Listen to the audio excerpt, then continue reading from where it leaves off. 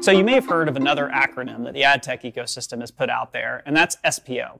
SPO stands for Supply Path Optimization. In order to understand it, unfortunately, we have to take a little bit of a history lesson and go back into the annals of ad tech history to understand how we got to this point. In the beginning, there were ad servers, and ad servers were operated by publishers in order to deliver ads to their websites. Then, SSPs and ad exchanges came along to monetize the rest of the inventory that the publisher couldn't sell directly. Over time, SSPs started to work with publishers exclusively. But one of the downsides of doing that was is that the publisher wasn't able to avail themselves to the maximum amount of demand available for any given impression. So, a new thing came along called header bidding.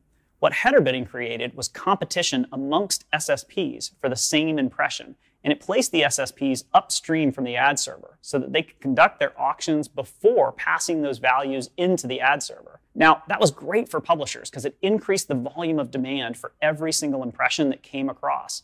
But it was also really good for demand side platforms because for the first time ever, we now had choice as to where we could transact any given impression. One way to think about SSPs is that they are a pipe to inventory. And so now, if in this new construct, I have options across four, five, six, maybe even eight different pipes to the same publisher, I now have a choice to make. Which pipe is most efficient for me? Which pipe is performing better for me? And which route to that supply is going to bring me the best results I need as a marketer? Each of those pipes or routes to supply is considered a path.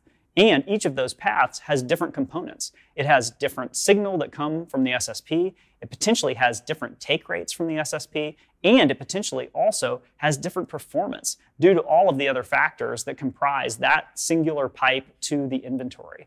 So, what we have the benefit of doing on the demand side is evaluating all of that data across all of the available paths or routes to that supply, and then make an effective decision on an impression to impression basis as to which route is going to be most effective for the marketer at that moment in time on that impression.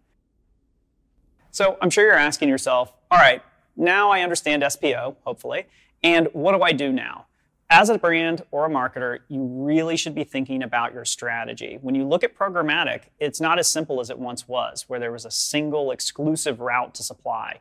Now you have options. One way to be thinking about SPO is partnering with your technology platform to determine what are the most efficient and effective and lowest fee routes to the supply that you want to work with and have that same conversation with your publisher partners. Your publisher partners will happily talk about who they're working with across the supply landscape. And through partnership with your publishers and your technology platforms, you'll be able to determine the most efficient and effective route. So, as you think about SPO in the future, make sure that you're having this conversation with your technology partners and having this conversation with your publisher partners to make sure that you're always finding the best route or path to supply in the future.